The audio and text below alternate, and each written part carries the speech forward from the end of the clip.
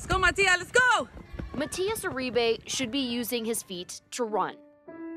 His hands should be playing endless melodies on the piano. That's the potential his parents Edgar and Catalina Uribe still see in their son.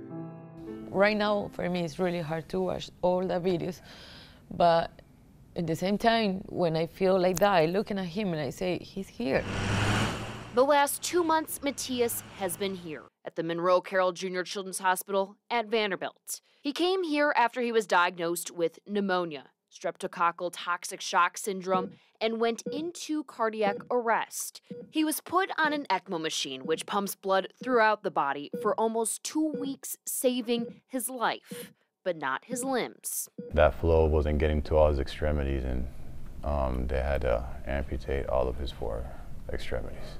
I say to the doctors, please don't use the, the word uh, amputation. Let's use uh, remove. I don't think there's anything they could have done sooner. I think he got really sick really fast. Dr. Katie Boyle is the head of Matias's care team who is trying to save every inch of his limbs. What Matias is dealing with is something she hardly ever sees. It's extremely rare. Um, so sometimes when you get the flu, it does set you up for a bacterial infection. Um, but even then, most kids don't get nearly as sick as Matias did. After almost a dozen surgeries, his parents say Matias has only two more.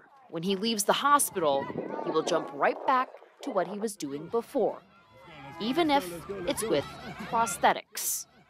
And I tell him we're going to be your arms and legs and until we figure all this out. In Nashville, Marissa Sulek, WSMV4.